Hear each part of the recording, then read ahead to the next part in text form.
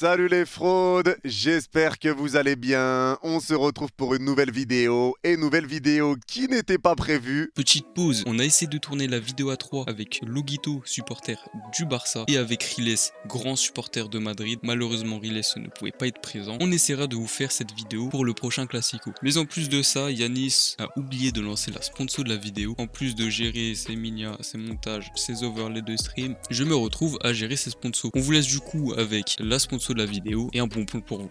La Ligue des Champions, la Ligue 1, la Liga. Et si je vous disais que toutes les plus grandes compétitions de football, ainsi que de nombreux autres avantages, étaient disponibles pour moins de 3 euros par mois. Et tout ça grâce à NordVPN. On a tous connu ce moment où un match n'était pas disponible dans notre pays, ou alors un abonnement télé beaucoup trop cher pour pouvoir suivre nos équipes favoris ou notre championnat favori. Avec NordVPN, c'est la fin de ces soucis. Au revoir Grâce à NordVPN, vous pouvez accéder à des chaînes gratuites à l'étranger qui diffusent ces compétitions gratuitement ou moins cher. Par exemple, vous pouvez activer votre VPN au Mexique pour avoir accès à la Ligue 1 gratuitement sur YouTube ou alors l'activer en Angleterre et souscrire pour 12 euros par mois afin d'avoir la Ligue 1 moins chère. Mais ce n'est pas tout. Vous pouvez activer votre VPN en Belgique ou en Irlande pour bénéficier des matchs de Ligue des Champions gratuitement. Vous pouvez également activer votre VPN en Espagne pour pouvoir avoir accès à certains matchs de Liga. Vous pouvez profiter par exemple de YouTube sans publicité en vous géolocalisant en Albanie mais également Prime Vidéo moins cher depuis l'Egypte et Crunchyroll moins cher depuis la Turquie. Et bien sûr, vous pouvez naviguer en toute sécurité en protégeant votre adresse IP et vos données personnelles. C'est le combo gagnant pour pouvoir protéger ces données et profiter d'un maximum d'avantages. Grâce à mon lien affilié que vous retrouverez en description et en commentaire épinglé, vous pouvez donc profiter de 4 mois offerts sur les abonnements de 2 ans et c'est satisfait ou remboursé dans un délai de 30 jours et ça, c'est jackpot. Merci à NordVPN d'avoir sponsorisé cette vidéo et on se retrouve pour le vif du sujet. Mes nouvelles vidéos avant match Barcelone-Real Madrid et pour l'occasion, qui d'autre que le bon vieux Loguito pour nous accompagner? Comment tu vas mon frérot? Merci, grand merci pour l'invitation frérot, ça va très bien. Là la Ligue des Champions s'est bien passée de notre côté, moins bien du tien, bien du côté. ouais, ça de ouf. C'est dur à Paris. Après on avait un adversaire plus fort que le vôtre. Que... Arrête toi, le PSV frère, à domicile. Oh là, là. Non mais franchement ça fait plaisir de que le Barça aille bien parce que tu sais on a connu des saisons voilà hein, je vais pas te je vais pas entrer dans les détails mais tu connais les effectifs euh, avec des Minguesa des Abdé et tout. C'était dur. Là c'est en train d'aller bien. Pour l'instant le Barça enchaîne les victoires et tout. Et puis là surtout on attendait la confirmation face à un gros. Donc on, on approche du Classico dans de bonnes conditions. Ça fait plaisir. En tout cas merci pour l'invitation. Ouais, merci à toi frérot. Mais en, en, vrai là déjà tu rebondis sur un point qui est déjà intéressant. C'est déjà les anciennes saisons du Barça. Ouais. et moi je te le dis et tu sais que je suis objectif et tu sais que moi j'ai pas de haine ou ouais, autre envers le, le, Barça. Mais vraiment, vous méritez de vivre ce début de saison. Parce que en vrai, quand je commentais les matchs ouais. sur Ronald Koeman, avec, comme tu dis, les compositions de fou, les Europa League deux années de suite, etc. En vrai, vous en avez quand même pavé de fou furieux. Souffert, frère. Même Francfort, ils sont venus euh, à domicile, ils ont ramené tout les, le peuple allemand, ils nous ont sortis à domicile en Europa League un jeudi. Tu sais, j'ai des souvenirs là-bas. Il n'y a pas encore de confirmation, il va falloir gagner des trophées et tout. Tu peux encore faire saison blanche en soi, tu vois, mais Rien que le fait ouais. de profiter des matchs, toi comme moi, tu sais que c'est important de prendre du plaisir devant le foot et pas juste ah, on a gagné, merci, au revoir, 1-0, tu vois. Là, tu prends du plaisir dans les matchs, il y a des buts, tu cognes des gros comme le Bayern, tu t'approches du Classico dans, je t'ai dit, des bonnes conditions, ça fait plaisir parce qu'on se rappelle de, de, où on vient, c'est il n'y a pas si longtemps. Ouais. Donc, euh, franchement, ça fait du bien. C'est clair, mais là, justement, moi, je vais rentrer déjà sur un premier point par rapport à, à ce Classico. C'est quelque chose que je dis beaucoup dans les débriefs, quand je, que ça soit en débrief du Real Madrid ouais. ou en débrief du Barça. L'équipe qui me fait le plus plaisir à regarder jouer depuis ce début de saison, honnêtement, c'est le Barça. Et en vrai, quand tu regardes le Barça jouer cette saison en Liga, tu te dis, bon, c'est logique qu'il gagne, c'est vraiment solide. Ouais. Quand tu regardes le Real jouer cette saison, tu te dis, bon, comment ils ont fait pour gagner? Donc, en vrai, tu arrives quand même avec ce peut-être cet avantage-là pour le Barça. Qu'est-ce que tu penses? Est-ce que tu penses qu'aujourd'hui, même si tu es à l'extérieur, etc., est-ce que tu penses que le Barça est favori? Ou est-ce que comme c'est un classico, etc., il ouais. n'y a pas d'avantage? En fait, ouais, je pense plus la deuxième option parce que moi, si tu me dis en termes de mérite depuis le début de la saison, qui mériterait de gagner le classico, tu vois, je te dirais ça serait le Barça. Sauf que, ouais. un, c'est un classico, c'est un match particulier, tu le sais, dans le monde. Et deux, c'est le Real Madrid là-bas. Ça veut dire que même si tu es, su même si es supérieur à eux dans le match, tu sais comment ça peut vriller, ça peut tourner en 4 minutes. Ça veut dire le que... Real, c'est le Real. Frérot, à la mi-temps de Dortmund, toi, toi, je pense que même dans ta tête, tu te disais, aujourd'hui, ils vont pas le faire. Il y a, il y a bien un match où tu dois te dire, ils vont pas réussir à retourner ce match. Ils vont pas réussir, ils vont enfin perdre. Je sais pas, non, ça t'arrive pas de te dire ça devant le Real et finalement, ils le font toujours. Ils retournent la situation, ils font une remontada, ils gagnent à la fin, même pas forcément avec la manière, mais à l'arraché. Donc, Classico qui approche, le Barça arrive dans de bonnes conditions, mais sur 5 minutes, sur 10 minutes, le match il peut vriller. Donc ça me fait peur. C'est ça en fait qui me fait peur. C'est l'aura Real Madrid, quoi, j'ai envie de te dire. Ouais, c'est clair, parce qu'en vrai, le Real, ça reste quand même cette équipe où tu te demandes comment tu vas les battre, même quand tu sens qu'ils sont prenables, même quand tu sens qu'il y a des choses qui vont pas, ils perdent pas.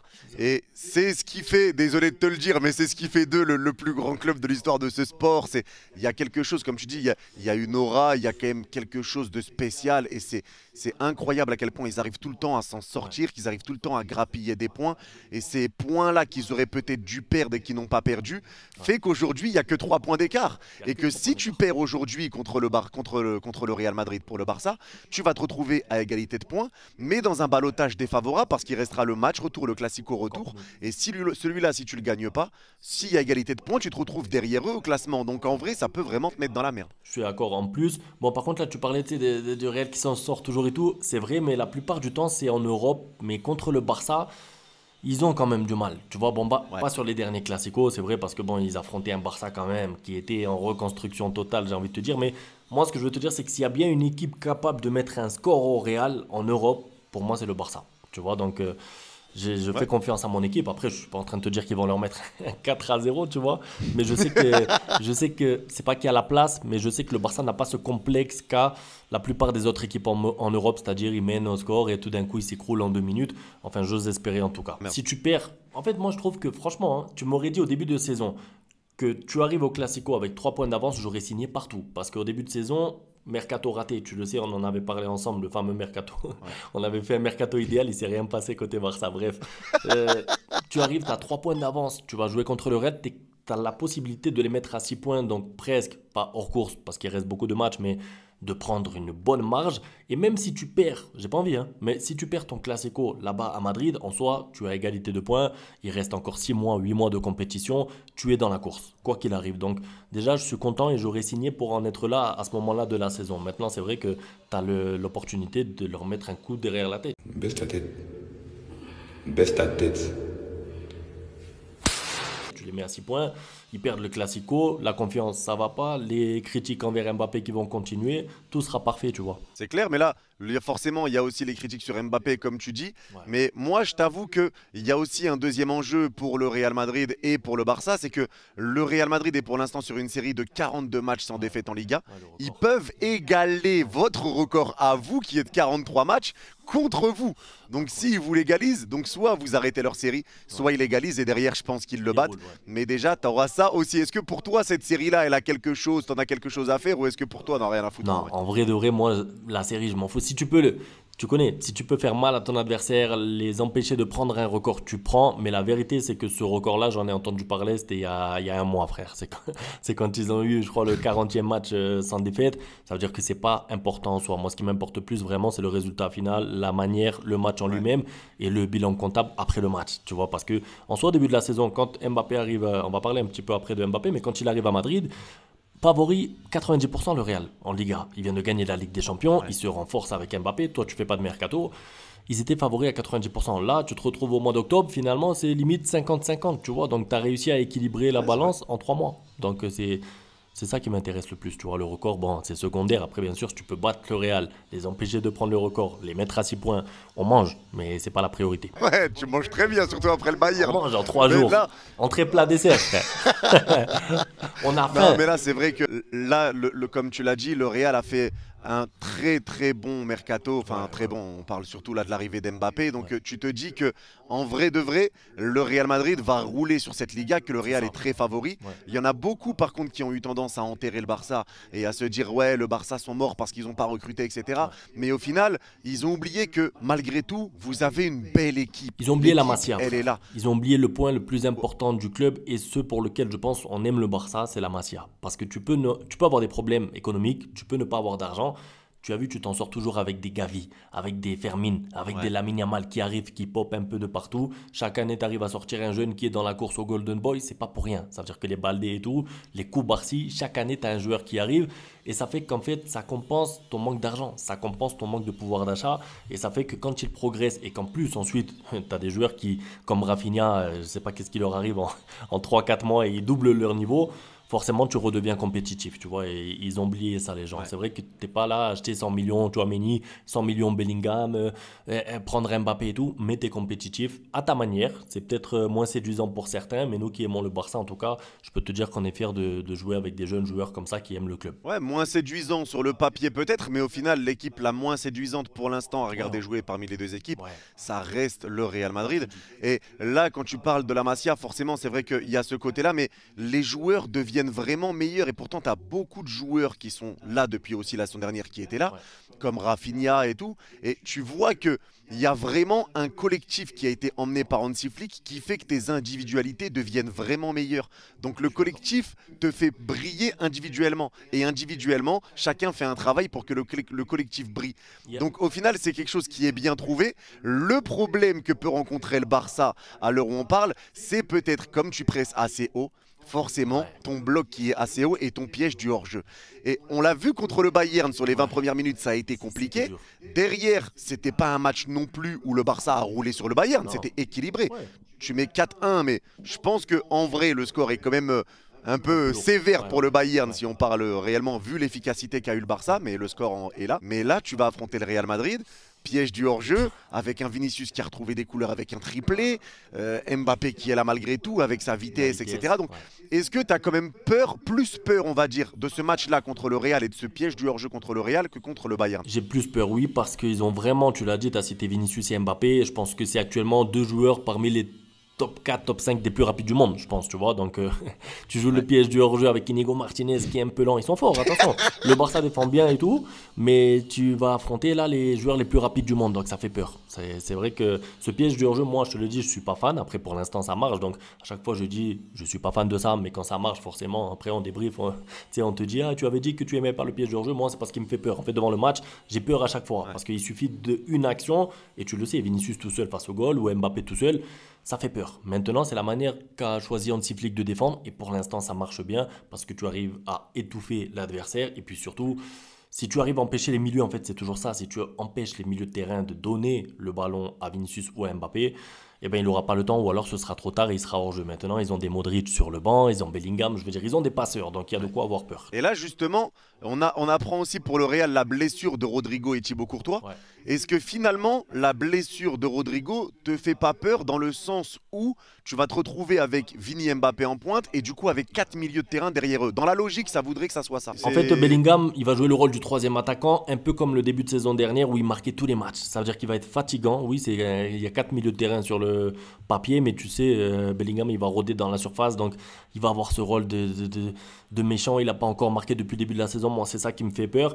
Après, je suis quand même pas content parce qu'on n'est jamais content d'être blessé. Tu sais, euh, j'aime bien voir les classicos avec tous les top players. Mais c'est vrai que le fait de ne pas avoir Courtois, pour moi, c'est le meilleur gardien du monde. Tu vois, je te le dis, même si bon, Loulin, euh, il est bon. Courtois, c'est le meilleur gardien du monde actuellement. Et le fait qu'il soit pas là fait que tu as un petit peu plus de marge. Parce qu'à Courtois, il faut lui mettre 3 buts pour lui en mettre un. Tu vois, il va, il va te sauver 2-3 buts. Déjà que c'est difficile de gagner le Real.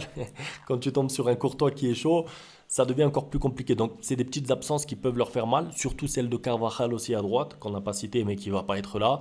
C'est des, des, joueurs qui vont leur manquer maintenant. C'est vrai qu'on sait qu'ils vont jouer avec Vinicius et Mbappé. Ils vont trop vite, ils sont dangereux mais j'ai confiance quand même au Barça. J'ai confiance au Barça. Moi, je pense que vraiment, ça va être un match qui est peut-être euh, sous-estimé pour certains. Peut-être qu'il y a des supporters du Barça qui le prennent un petit peu à la légère au vu de l'état de forme du Real actuellement.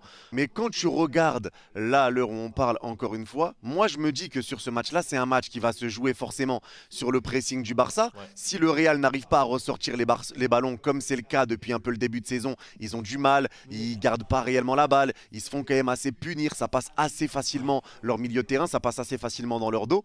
Je pense que dans ce registre-là, le Barça peut faire mal, mais si le Real vient en étant un petit peu comme à son habitude, comme quand le Real a été exceptionnel sur toutes ces dernières années. Un Real Madrid qui reste bien en place, qui t'attend. Et dès que tu perds la balle, ça va te piquer dans ton dos. Et en sachant que le Barça va jouer haut, ça peut faire très mal. Donc en vrai, je sais pas ce que tu penses toi, mais moi j'ai l'impression que ce match, il peut terminer en 4-0 Barça comme en 4-0 Real. Je suis d'accord, à 100%. Ça veut dire que, tu vois, contre le Bayern, je savais que tu allais affronter un Barça bis. Tu vois ce que je veux te dire? C'était vraiment le même, le même dispositif. Ils jouent en 4-2-3-1. Ils ont des joueurs rapides un peu sur les côtés. Ils ont un finisseur dans l'axe. C'était un peu le même profil.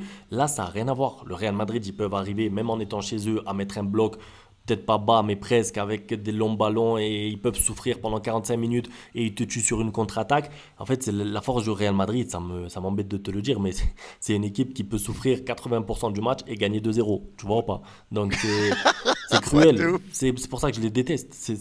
Mais bon, euh, c'est leur force. C'est leur force après, tu vois. C'est-à-dire que même en étant chez eux, ils n'ont aucun complexe à dire, OK, on va vous laisser la balle, on va vous tuer sur deux passes longues, tu vois. Donc euh, tu peux limite pas te préparer à ça. Le tout, il va falloir être des tueurs. Tu sais, on parle souvent de l'efficacité. Il va falloir, quand tu as une occasion face au Real, la mettre. Si tu commences à bégayer devant la surface, rater, glissade, je sais pas quoi, hop, t'es puni derrière. Et ça a été le cas Dortmund. T'as vu, hein, Dortmund, ils ont eu le 3-2. Ils avaient la balle du 3-2, ils l'ont pas mis. 20 secondes après, Lucas Vasquez, hop, 3-2, allez. C'est le Real. Et déjà 2-0 mi-temps. Mais toi, tu dansais bien quand il y avait 2-0 mi-temps, finalement. moi, il y avait 2-0. Il y avait 2-0 mi-temps et en plus, le PSG perdait. de ton côté, tu perdais. J'étais en feu, frère. Et toi, tu veux pas nous lâcher. Dembélé qui tire sur la barre tout seul, Dembélé en l'air, Dembélé. Ah, je me régalais, frère. Après, le foot, ça va vite. T'as vu, en deuxième mi-temps, égalisation, presque penalty à la fin. C'est Hakimi là. Ouais, ah, mais après, ouais, nous, le PSG, c'est un peu, un peu plus compliqué. On a notre classico en plus, nous aussi, là, qui va arriver le lendemain du vôtre. Ça va être bien parce qu'ils euh, ont pas mis le même jour. Tu sais, on va pouvoir profiter des deux classicos, c'est cool. Ouais, et ça, heureusement, parce que ça va. En vrai, je pense que c'est rarement en même temps, mais là, ça va. On va pouvoir profiter parce que justement, ça permet aussi de rebondir sur une autre question. Là, j'ai l'impression qu'on retrouve vraiment, et moi, je te le dis aussi, vraiment, je le ressens parce que tu sais que je fais beaucoup le Barça, je fais beaucoup le Real, et là, je sens vraiment une hype monstrueuse, vraiment bien supérieure à, aux, saisons passées, que ce soit sur le Real ou sur le Barça. Est-ce que tu penses qu'on est de retour sur une hype de fou furieux comme à l'époque Messi-Ronaldo, ou en tout cas le classico le plus hype depuis cette époque. Le plus hype depuis cette époque, ça je suis sûr à 100%. Je ne sais pas si on retrouvera un jour le Guardiola Mourinho, euh, Ronaldo, Messi, c'était abusé. C'était vraiment. il y avait vraiment tous les éléments pour que le monde entier regarde le match.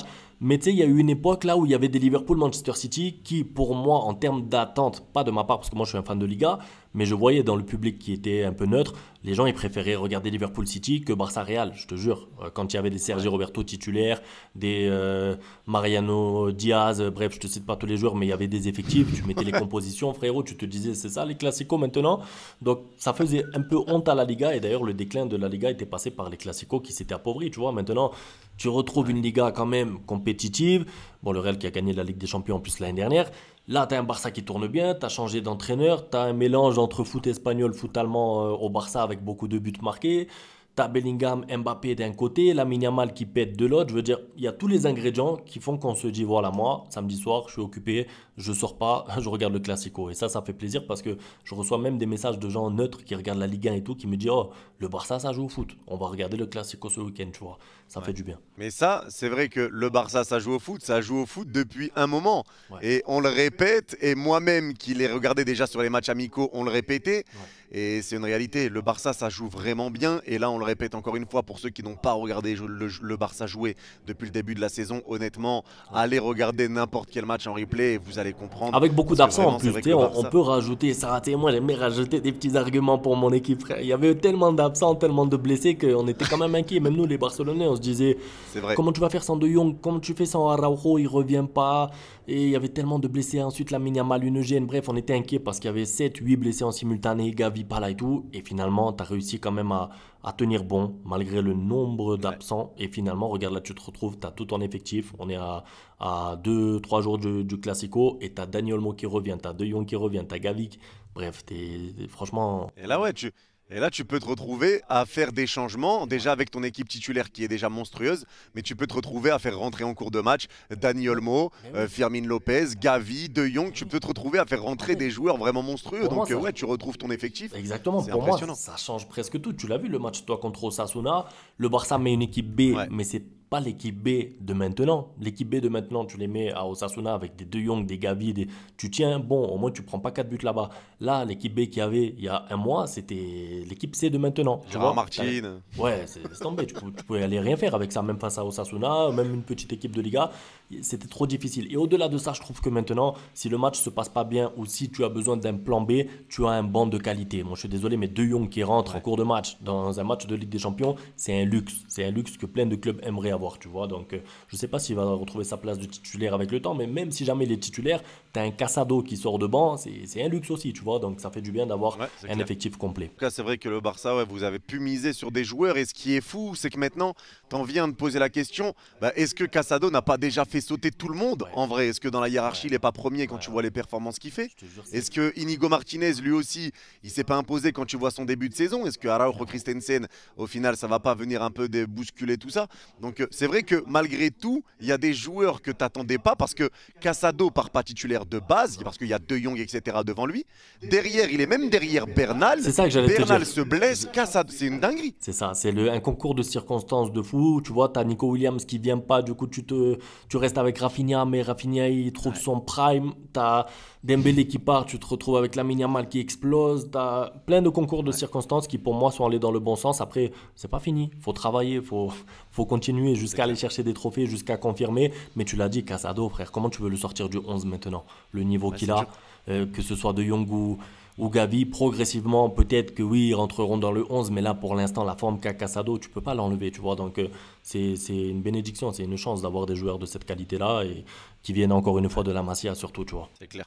Mais là, de toute façon, comme on l'a dit, c'est vrai que la, Liga commence à retrouver de sa hype, et forcément avec l'arrivée de d'Mbappé, forcément aussi avec un Barça qui fait un énorme début de saison, avec la Yamal aussi qui commence à, devenir cette superstar.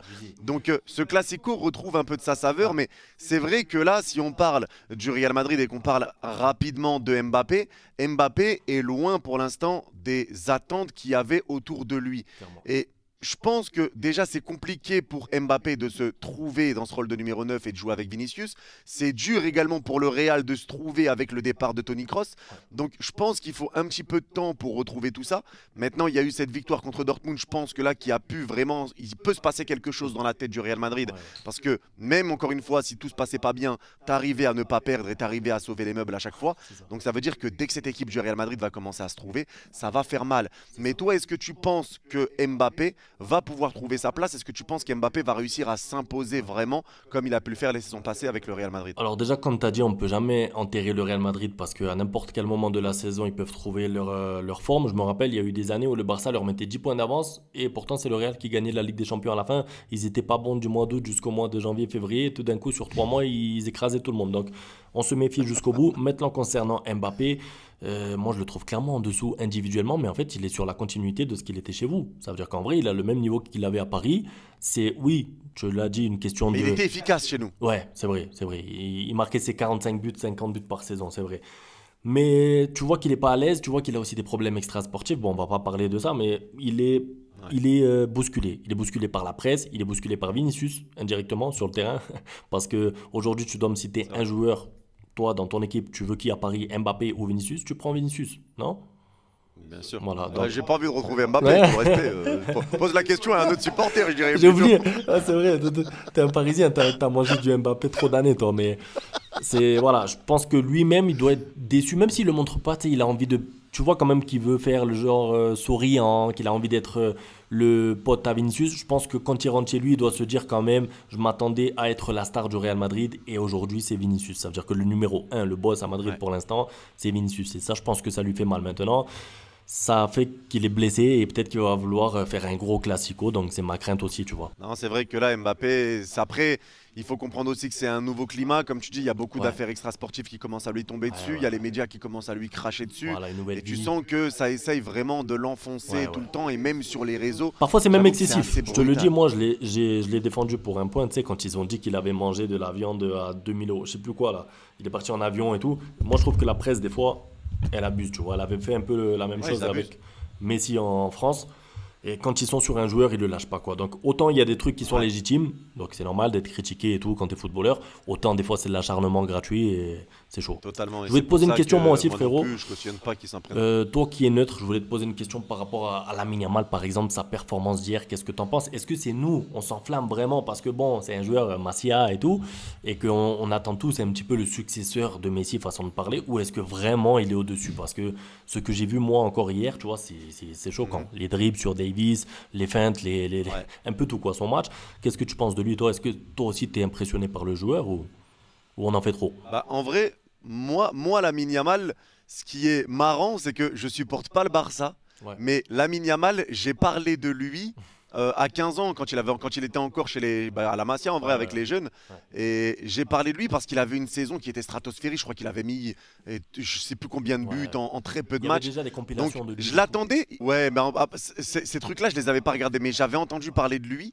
Et c'est vrai qu'après, je, me, je suis parti regarder et je l'ai annoncé. J'ai parlé de lui en fait un an avant qu'il arrive avec l'équipe première. Donc déjà, moi, j'avais cette attente-là Ouais. sur la Yamal. J'avais hâte de le voir jouer. Et au final, moi, je te le dis, si on parle là maintenant du match contre le, contre le Bayern qui a eu lieu, Ouais. euh, moi, contre le Bayern, j'ai trouvé un Lamine Yamal qui s'est mis au service du collectif Bah et qui a bien respecté un plan d'Ansi Flick. Parce que je sais pas ce que tu en Les penses, mais j'ai trouvé un Lamine Yamal qui décrochait énormément Ouais. pour se comporter limite comme un quatrième milieu. Parce que lui, il sait garder le ballon, Ouais. il sait le protéger, il arrivait, il arrivait à récupérer des coups francs, des fautes, etc., même quand il était pris par deux joueurs.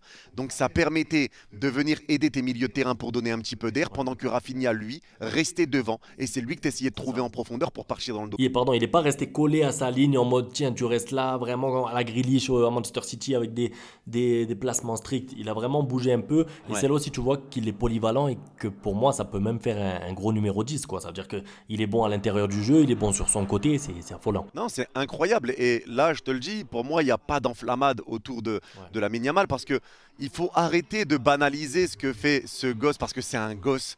Et tu as l'impression que maintenant, chaque match qu'il va faire, c'est normal. Il a, il a 17 ans. On s'habitue. Et en fait, ce qui est fou, c'est que c'est chaque match qui est incroyable. En fait, c'est pas que ça devient normal. C'est chaque chose qu'il fait, c'est incroyable. Encore contre le Bayern, il est passeur décisif. Il aurait pu l'être une deuxième fois. ouais, il aurait pu être les passeur. du pied qu'il te met pour, pour les passes en profondeur, ses centres, ils sont, ils sont chirurgicaux. Ses tirs, il arrive, il, il arrive à marquer. Enfin, c'est- c'est impressionnant. Et non, en fait, comme tu as dit, quand tu remets dans le contexte qu'il a 17 ans, parce que lui, c'est un peu comme Koubarsi, on s'habitue, t'as vu, on, a compris, ils sont forts, Ouais. ok. Mais en fait, quand tu remets dans le contexte qu'ils ont 17 ans, qu'ils sont même pas encore majeurs et qu'ils te font des performances comme ça en Ligue des Champions, parce que quand c'est Valladolid en face, voilà, il est un peu en forme, il est bien trouvé et tout, c'est faible en face, je veux bien. Mais pouvoir le faire ensuite en Ligue des Champions, sous pression, à domicile face au Bayern, c'est autre chose, tu vois. Donc, euh, c'est vraiment Ouais. incroyable. Moi, je suis choqué. Mais c'est là que tu vois aussi que c'est des gamins intelligents parce que la Yamal, je trouve moi sur le match contre le Bayern qui s'est limite sacrifié son jeu offensif pour que Rafinha puisse lui Oui. prendre la profondeur pour que la Yamal vienne aider et c'est là que tu vois aussi la maturité. Il n'y a pas d'ego, il n'y a pas de- d'ego surdimensionné, c'est d'accord, je vais faire ça pour le bien de l'équipe, bien c'est le plan qui est là et c'est pour ça que pour moi c'est cette phrase là, elle résume vraiment bien le Barça cette saison, c'est le collectif qui embellit les individualités. Ouais, Et c'est c'est ça qui est c'est ça c'est pour ça Il y a que une vraie alchimie entre les joueurs, tu vois. Il n'y a pas de- d'ego. Si l'un peut passer à l'autre, il la donne. Euh, c'est tout pour le Barça. Et c'est ça qui fait plaisir. Alors, Lamine Yamal, il avait râlé un peu quand il était sorti, mais il avait expliqué que c'était pas parce qu'il voulait stater. C'était parce que lui-même n'était pas content de son match, tu vois. Et ça aussi, pour moi, c'est une forme de maturité, pouvoir te rendre compte à 17 ans que tu as fait un match moyen ou que tu étais un peu dans un mauvais jour. C'est fort, c'est fort. Parce que tu as des Ferran Torres, par exemple, qui ratent des matchs tous les 4 jours et qui se remettent pas en question, tu vois. Donc, c'est fort. En tout cas, là, ça va nous donner, je pense, un bon match parce que voilà, ça reste quand même Vinicius, Mbappé qui seront, qui seront alignés. Même si Mbappé, on sait que c'est pas Tony Truant pour l'instant, c'est son premier classico. Et là, je se pense qu'il va vraiment, Eh oui. vraiment être déterminé. T'as un Bellingham qui arrive pas beaucoup à marquer. Il y a aussi cette frustration, mais là, il sera repositionné comme il a eu l'habitude la saison dernière. Donc je pense que ça va être hyper important pour lui aussi. Donc là, il faudra faire attention dans le jeu, dans le dos, parce que le Real Madrid, je pense que à domicile, ça va être très, très, très, très compliqué. Et faut pas les enterrer. De toute façon, tu le sais, Ah mais ouais, là, je m'adresse vraiment à ceux qui Ouais, ouais. sont peut-être en train de les enterrer. Ça va être dur. Donc là, je vais rentrer sur l'aspect pronostic. Frérot, quel est ton pronostic, toi, pour le, pour le Je Classico pronostique un- une victoire du Barça 2-1. Voilà, pas tant de buts que ça, mais un petit but de Rafinha encore une fois. Et côté Madrid, Vinicius, buteur. Mais une victoire du Barça, j'ai confiance. Franchement, j'ai confiance. En vrai, moi, j'étais un peu comme toi. Je voyais en vrai une victoire du Barça à la base. Mais là, j'ai changé. Je pense que, honnêtement, je vois un match nul de partout. De partout, ok, ouais, ça serait un bon match. Ouais, et moi, je signe. que- De partout, c'est pas Ouais, mal. ça, ça serait un beau match. Ouais, Mais moi- c'est parce que tu sais, comme on a dit, ça peut aller oui. vite dans le dos Bien pour le. Real Ils Madrid. vont avoir des Le occasions. Barça arrive quand même à bien presser. Je pense que tu peux faire mal. Donc je pense que ça serait un match ouvert, mais Et t'as pas de je gardien. pense en pas. Je vois, je vois mal le Real. Le. Barça, ils ont pas de gardien en plus. Avec euh, Iñaki Peña, tu je parlais de Courtois tout à l'heure. Bon. cadré, un but. Ouais, c'est ça en fait. Ça veut dire que déjà, on sait que le Real va avoir des occasions, mais en plus, ils n'ont pas besoin de beaucoup d'occasions pour marquer avec ce gardien. Sauf si, par miracle, il te sort une parade de fou, mais c'est rare. Généralement, c'est un tir cadré, Ouais, but. c'est clair. Ouais, c'est clair. Alors que là, on parle quand même de Lounine qui sera là parce que Courtois est blessé, mais Lounine est un excellent gardien. Eh oui, il a montré. Tu vois, on- on- en fait, on parle beaucoup de ce qui va pas pour le Real, Ouais. mais on peut parler de ce qui va très bien, comme Valverde qui fait un début de saison monstrueux, Vinicius qui retrouve ses couleurs, euh, t'as un Kamavinga aussi qui est hyper important, un Rudiger qui est incroyable. Donc, euh, en vrai, il y a quand même des qualités dans cette équipe. Non, mais le ça Real- reste le Real Madrid. Voilà, c'est ça, c'est que c'est le Real Madrid et surtout ils ont tellement d'armes, je te jure, en contre-attaque ils sont forts, frappe de loin, Valverde, les coups de pied arrêtés avec des têtes de Rudiger, enfin franchement ils ont plein d'armes, même si c'est pas brillant et que moi en tout cas je prends pas beaucoup de plaisir devant leur match à part euh, le match contre Dortmund. où, Mais ça peut être brillant demain et c'est ça qui te fait arrête peur. toi, arrête, euh, et qui reste brillant euh, pour le prochain match, le match d'après, qui reste comme ça. Ouais, non, en tout cas, ça va être un, un très bon match. Bah, en tout cas, merci à toi, frérot, d'être euh, venu pour, pour cet avant-match. Je rappelle, les gars, qu'il y a la chaîne de Logito qui Merci. va être en description, en commentaire épinglé. Donc, n'hésitez pas beaucoup, à aller follow le bon vieux Logito, le Gout. Merci à toi, On frérot, passera- encore une fois pour l'invite. Vraiment, ça Merci, fait vraiment plaisir. j'espère que, que tu nous portes chance, j'espère. En tout cas, on va suivre ton live. On va, on va suivre ton live en double écran. Moi, je vais mettre double écran, le match, Yanis. Comme ça, je serai bien. Mais il y a moyen aussi d'avoir un peu de gentillesse pour le PSG ou tu vas pas t'arrêter avec nous? Non, ça continue jusqu'à... Non, je vais continuer quelques mois et après, je vais me calmer. Si vous continuez euh, dans votre lancée là, je vais m'arrêter après. C'est bon, je m'arrête là, les mecs. J'ai pas eu la réponse que je voulais. Mais merci à tous, en Merci, tout cas, d'avoir suivi cette vidéo. N'oubliez pas le petit pouce bleu et le commentaire pour le référencement. Voilà. Vous êtes les gars. Prenez soin de vous. Ciao. Bye bye.